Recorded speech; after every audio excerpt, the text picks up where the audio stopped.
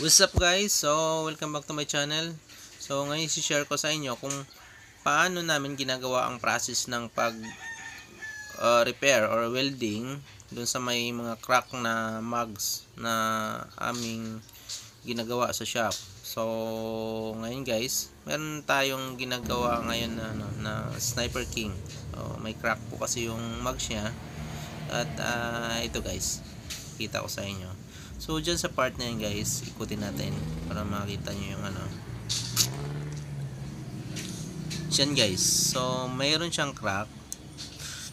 Hindi naman siya yung bumuka masyado na crack. So, minor crack.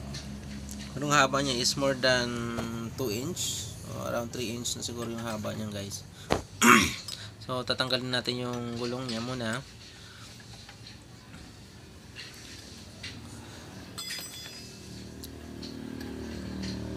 So, yun guys.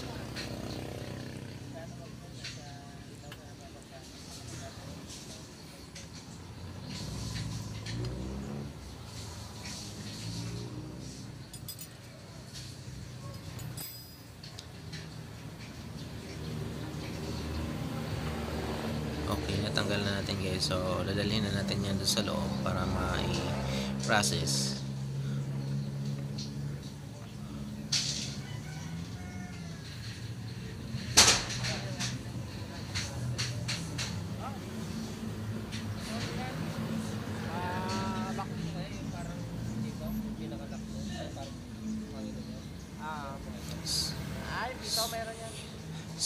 So ayan guys, pagka ganyang case malapit sa pito yung ano, yung crack. So kailangan yan guys, palitan ng pito automatic kasi maiinitan kasi yung stock na pito. Ayan ang nangyayari, ang nagkakaroon ng ano, yung humihina yung uh, pito. So pag ginamit niya pa yon at hindi pinalitan, posible siyang matanggal. Kasi humina yung banding niya dun sa sa rubber. So, delikado po. So, automatic palit na yon. So, recommended namin yon sa mga customer palit na agad yun. So, yan guys, kailangan kasi tanggalin natin yung ano, yung rotor disc para hindi siya makasagabal dun sa pag-repair at saka preparation na rin po yan dun sa pag uh, press kasi kailangan i-press po yung bengkong kasi may bengkong din po siya guys may talon siya so ipipress po yan dun sa press machine natin pang mags so uh, yan guys. So, tin kaya tinanggal natin. So yan guys lilinisin po natin yan. So yung may color pink na yan. Yan po yung may crack na part. So kabilaan po yan guys. Kailangan po weld yan. So yan guys oh. around mga 3 inches po yung haba niyan guys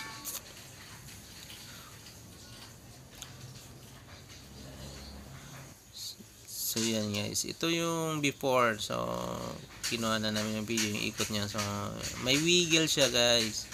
At may talon po siya doon sa part na may crack kasi may bengkong din po siya. So yan guys. So yan kailangan natin i-correct na mga problema niyan guys para magamit po uli ni boss ng maayos yung motor niya.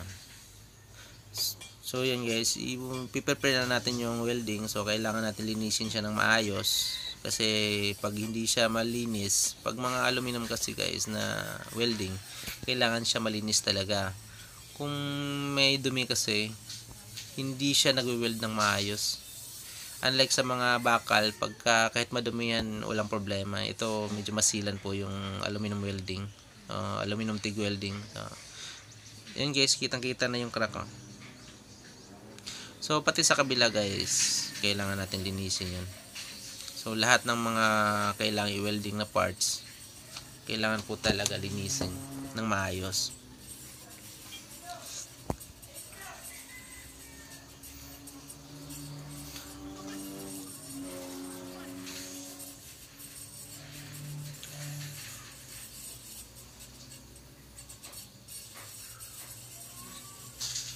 So, yung gamit namin na panlinis dyan guys is yung Dremel na 300 model. Tapos, gumamit kami ng a flexible extension para more on maganda siya gamitin guys so mas handly siya at uh, komportable kami dahil maliit yung hawakan niya at madali siyang i-maniobra ang kung saan mo siya itututok so madali siyang gamitin so maayos po ayos, ayos yung gamit ng guys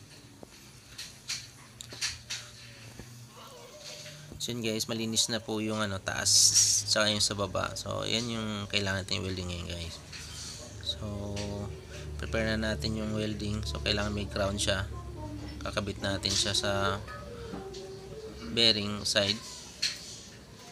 Tapos kailangan meron tayong yun, yung yung parang wire na yun is filler rod po yun aluminum. So yan guys, prepare nakano na tayo. Start ng welding TIG welding po yun guys so hindi tayo gumagamit ng acetylene pag welding dito sa shop guys sa mga mags ng pinakamamahal natin mga customer so mas maganda po ang quality na naibibigay po natin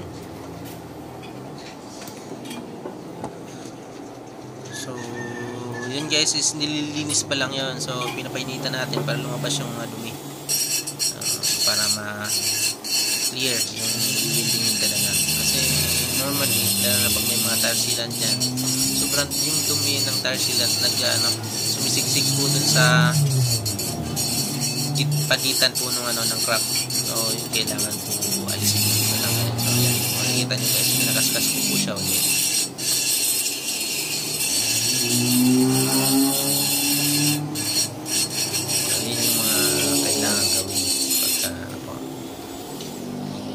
pero isa sa mga pinaka-importante sa welding din guys is yung tamang timpla ng kuryente o amperahe at saka yung speed. At saka yung timing. So hindi kailangan. So hindi rin siya ganun kadali matutunan error talaga dyan pero sa aming case kasi dahil sa dami na namin ginagawa mga ganitong trabaho so mas ma mas madali lang sa akin so ano na namin yung mga tamang setting para sa ganitong, ganitong mga trabaho po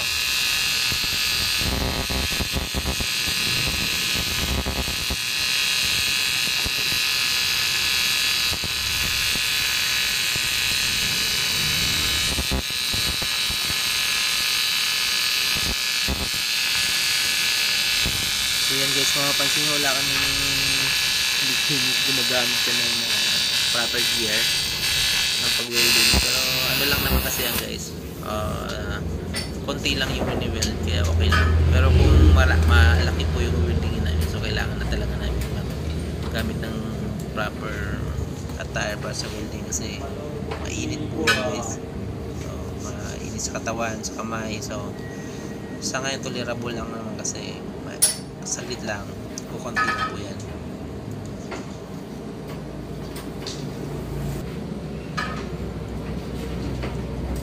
So ito naman sa loob guys. So kailangan kasi taas ng baba or labas ng loob. Build natin yan para matibay po talaga siya. At papakita ko sa inyo. Quality kagandahan kasi ng TIG talaga guys is yung penetration. So, para siyang welding machine talaga na nasa.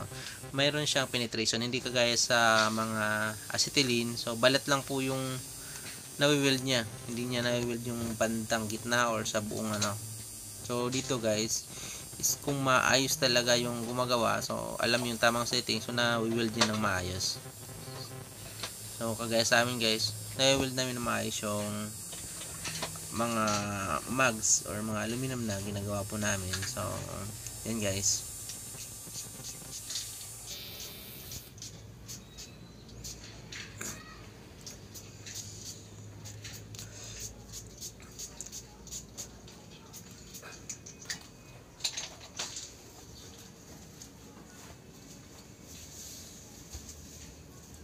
So yun guys oh parang welding machine talaga siya guys so kung mapapansin may kaliskis pa yan guys parang kaliskis ng dragon joke lang guys so yan na guys So, yan guys, is sumalang na po, isasalang na yun sa, ano, sa repair process ng pagpipress. So, ito na yung after guys. So, tapos na po i-press ito. So, na-align na rin po. Yan guys. Buo na po yung ikot ulit. So, wala na siyang talon at wala siyang wiggle. Naayos na yung wiggle.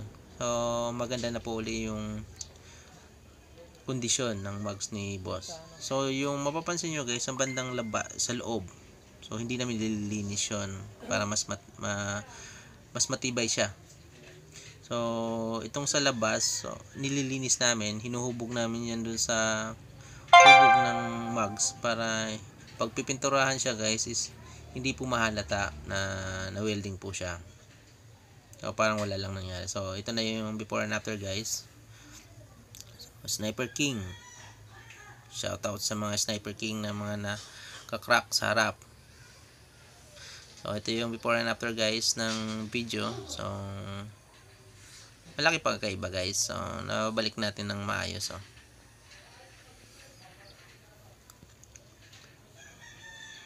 So, yan guys. Sana ay at may natutunan kayo sa video namin at thanks sa panonood. Uh, please subscribe. And matsalam guys.